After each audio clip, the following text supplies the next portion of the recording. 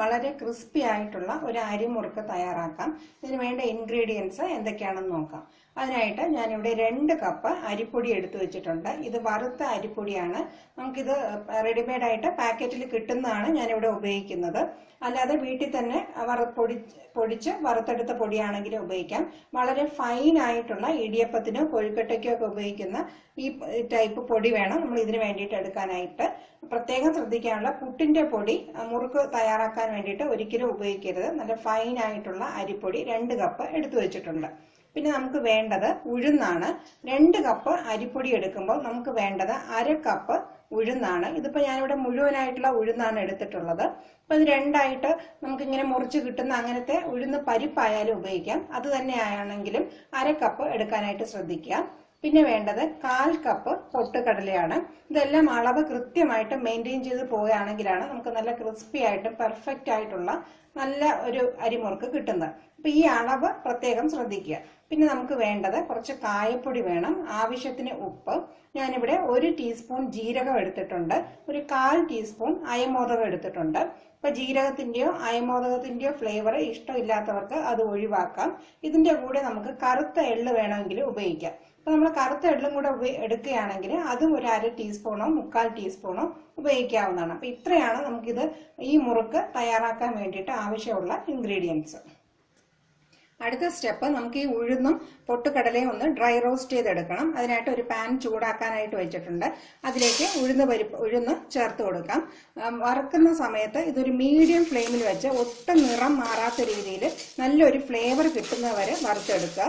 Medium ഫ്ലെയിമിൽ തന്നെ വയ്ക്കുക ഇപ്പം ആദ്യമായിട്ടൊക്കെ ചെയ്യുന്നവരാണെങ്കിൽ ഇത് ലോ ഫ്ലെയിമിൽ വെച്ച് തയ്യാറാക്കിയാലും മതി. ഇതിന്റെ നിറം ഒട്ടും മാറരുത്. ഒരു മണം വരുന്നവരെ പ്രത്യേകം വറുത്തെടുക്കാനായിട്ട് ശ്രദ്ധിക്കുക.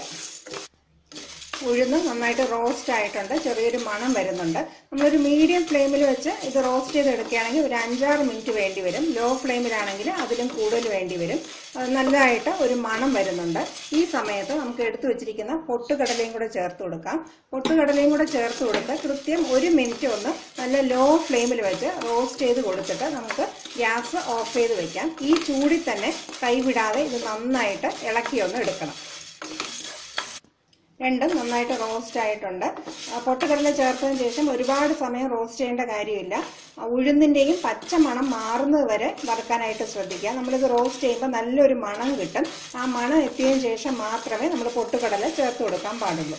ഇനി ഈ ഉഴുന്നും പൊട്ടുകടലയും നന്നായിട്ട് തണുക്കണം. ഇത് തണുത്തതിന് ശേഷം നമുക്കൊരു മിക്സി ജാറിലിട്ട് പൊടിച്ചെടുക്കാം. ഇപ്പോൾ ഇതൊരു ചെറിയ ക്വാണ്ടിറ്റി ആയതുകൊണ്ട് ചെറിയ മിക്സി ജാറിലിട്ട് പൊടിക്കുന്നതാണ് നല്ലത്. ഇനിയിപ്പോൾ ഞാൻ തണുത്തതിന് ശേഷം ഒരു ചെറിയ മിക്സി ജാറിലിട്ട് പൊടിച്ചിട്ട് കാണിക്കാം. ഇങ്ങനെ പൊടിച്ചെടുത്ത് വെച്ചിട്ടുണ്ട്. പൊട്ടുകടലയും ഉഴുന്നും.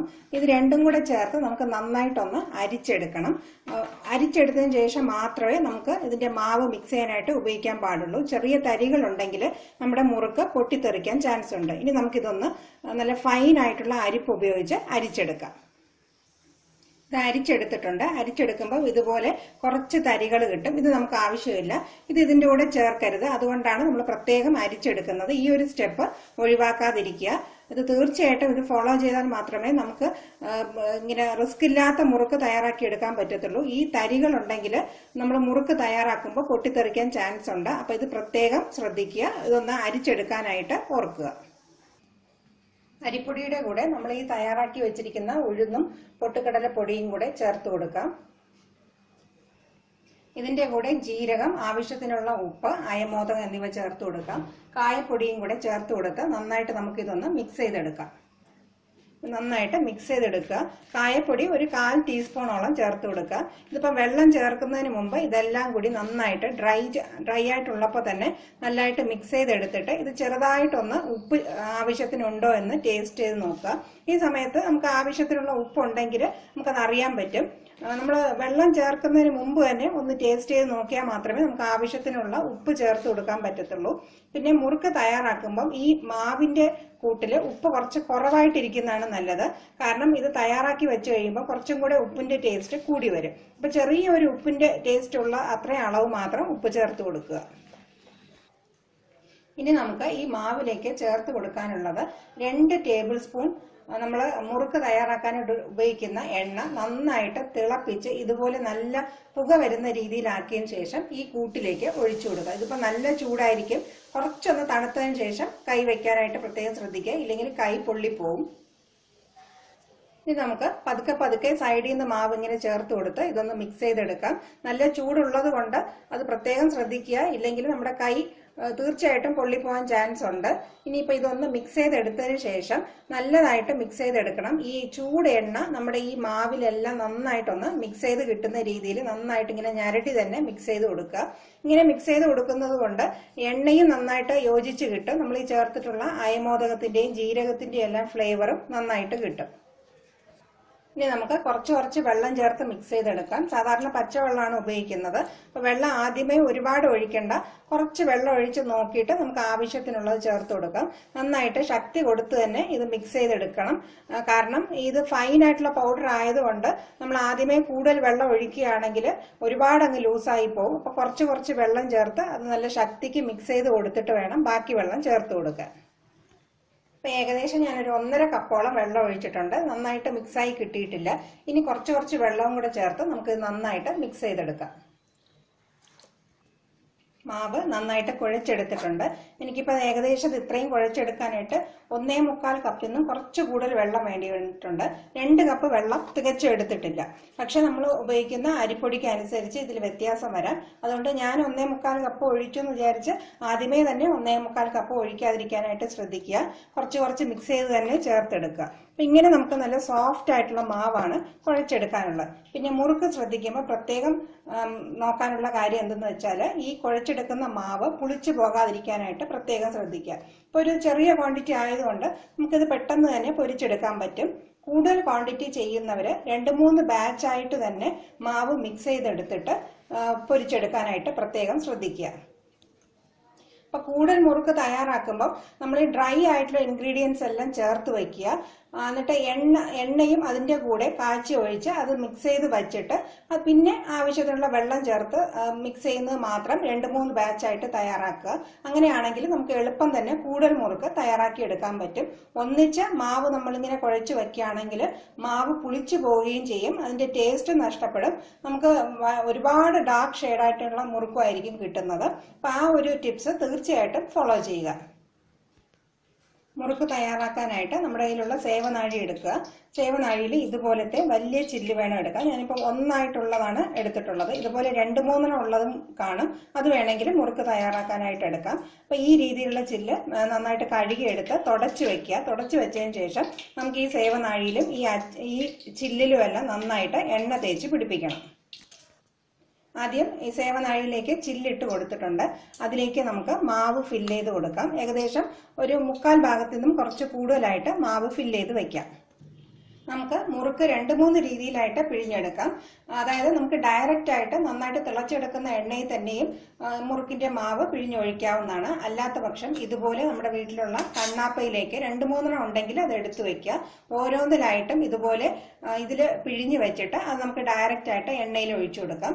ഇല്ലെങ്കിൽ പോളിത്തീൻ ഷീറ്റ് ഉണ്ടെങ്കിൽ അതിലൊരു ഏഴെട്ട് മുറുക്ക് ഒന്നിച്ച് പിഴിഞ്ഞെടുത്ത് വെച്ചിട്ട് ഓരോന്നായിട്ട് എടുത്തിടാം. പക്ഷെ ആദ്യമായിട്ട് ചെയ്യുന്നവർക്ക് പോളിത്തീൻ ഷീറ്റിൽ നിന്ന് എടുത്തെടുക്കുമ്പോൾ ഷേപ്പ് നഷ്ടപ്പെടാൻ ചാൻസ് ഉണ്ട്. അപ്പൊ ഫസ്റ്റ് ആയിട്ടൊക്കെ ബിഗിനേഴ്സിന് വേണ്ടിയിട്ടാണെങ്കിൽ ഈ മെത്തേഡ് വളരെ എളുപ്പമായിരിക്കും. ഇതുപോലത്തെ കണ്ണാപ്പയിൽ നമുക്ക് മുറുക്കൊന്ന് പിഴിഞ്ഞു വയ്ക്കാം ഇങ്ങനെ നമുക്ക് റൗണ്ടായിട്ട് എടുക്കാം. നമുക്ക് തീരെ അടുത്ത് വരുന്ന രീതിയിൽ വേണമെങ്കിൽ ആദ്യമായിട്ട് ചെയ്യുന്നവർ ഇങ്ങനെ കുറച്ചൊന്ന് ചുറ്റി കൊടുത്തതിന് ശേഷം ഇങ്ങനെ കറക്റ്റായിട്ട് അതിന്റെ അടുത്ത് വെച്ച് ഇങ്ങനെ പിഴിഞ്ഞെടുക്കുക. പിന്നെ മുറുക്കിന്റെ സൈസും ഓരോരുത്തരുടെ ഇഷ്ടത്തിനനുസരിച്ച് തീരുമാനിക്കാവുന്നതാണ്. ഞാൻ ഇപ്പം ഈ ഒരു രീതിയിൽ ഇത്രയും സൈസിലാണ് ചെയ്യുന്നത്. അപ്പം ഇങ്ങനെ കൊണ്ടുവന്ന് നല്ല ടൈറ്റായിട്ട് ഇങ്ങനെ അടുത്ത് ഗ്യാപ്പ് ഇല്ലാത്ത രീതിയിൽ വെച്ച് കൊടുക്കുക. ഇങ്ങനെ രണ്ട് മൂന്നെണ്ണം നമുക്ക് രണ്ട് മൂന്ന് ഇതുപോലത്തെ തവിയിൽ പിഴിഞ്ഞ് വെച്ചതിന് ശേഷം പെട്ടെന്ന് പൊരിച്ചെടുക്കാവുന്നതാണ്. എണ്ണ ചൂടാക്കാനായിട്ട് വെച്ചിട്ടുണ്ട്. എണ്ണ നന്നായിട്ട് ചൂടായതിന് ശേഷം വേണം മുറുക്ക് പൊരിച്ചെടുക്കാനായിട്ട്. ആദ്യം നല്ല ഹൈ ഫ്ലെയിമിൽ വെച്ച് എണ്ണ നന്നായിട്ട് ചൂടാക്കി എടുക്കുക.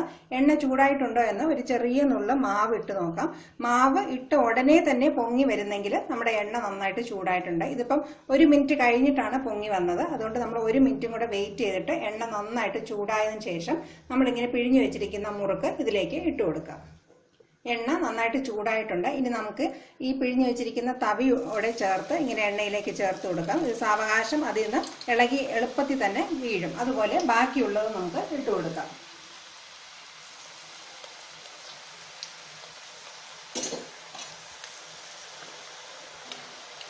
മുറുക്ക് ഇട്ട് കൊടുത്തതിന് ശേഷം പിന്നെ ഒരു മീഡിയം ഫ്ലെയിം ആക്കി വെച്ച് വേണം നമ്മളിത് പൊരിച്ചെടുക്കാൻ. ഇല്ലെങ്കിൽ പെട്ടെന്ന് നിറം മാറും. മീഡിയം ഫ്ലെയിമിലാക്കി വെച്ച് ഒരു സൈഡ് നന്നായിട്ട് മൂത്തതിന് ശേഷം തിരിച്ചിട്ട് കൊടുക്കാം. നമ്മുടെ മുറുക്ക് രണ്ട് വശവും നന്നായിട്ട് മൂത്ത് വന്നിട്ടുണ്ട്. ഈ ഒരു കളർ ആകുമ്പോൾ നമുക്ക് എണ്ണയിൽ നിന്ന് മാറ്റാം.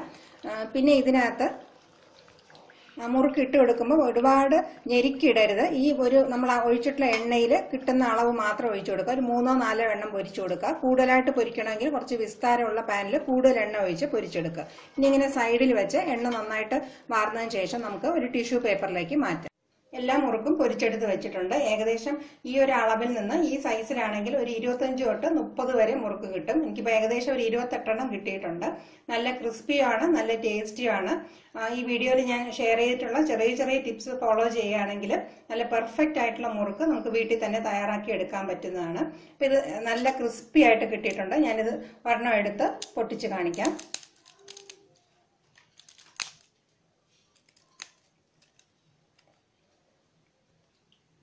ഈ വീഡിയോ ഇഷ്ടപ്പെടുകയാണെങ്കിൽ എല്ലാവരും ലൈക്ക് ചെയ്യാനും ഷെയർ ചെയ്യാനും മറക്കാതിരിക്കുക. Thank for watching my video